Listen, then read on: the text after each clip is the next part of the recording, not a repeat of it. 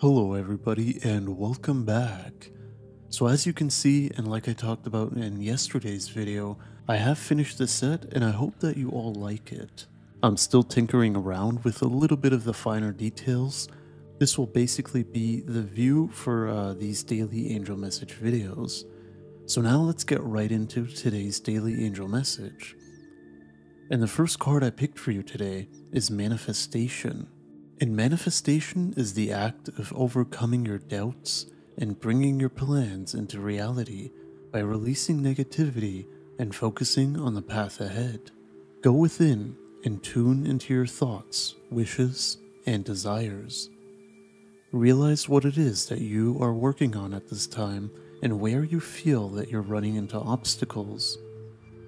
Use your inner power and in your mind, send it to those obstacles let your angels guide you, and you will be given a solution to overcome what is hindering you in moving forward. It is essential to have a positive outlook no matter how far you still have to go. And this doesn't mean that you shouldn't allow negative thoughts or doubt. Instead, it means that you should acknowledge them and analyze why they are creeping into your mind, and do not allow them to control your decisions or even your life. You need to accept and use negative energy as the necessary counterpart of the balance that you are supposed to create in your life.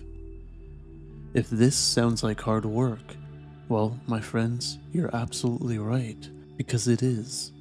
And if you feel stuck on your way to manifestation, ask your guardian angels and the universe for help.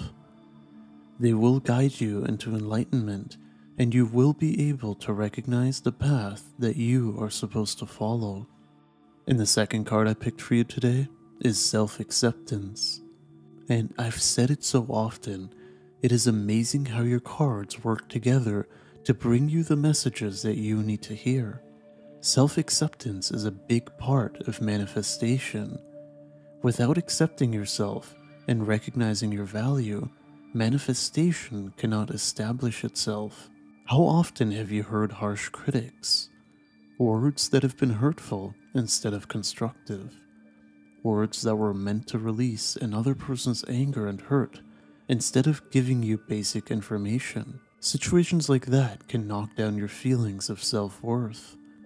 And if you are on the receiving end of such behavior, then you always need to remember that the person who speaks to you is the one who has lost their self respect it needs to find it back.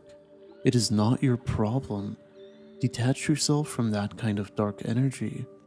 Breathe in and appreciate the person that you are. And understand your intentions and goals and be kind to yourself. Comprehend the complexity of your personality and accept who you are because you deserve it, my friend. So, both cards today urge you to look within and correct if you stray away from one of the most important things you can do for yourself and others. And that is to honor the existence of the universe and its children, us.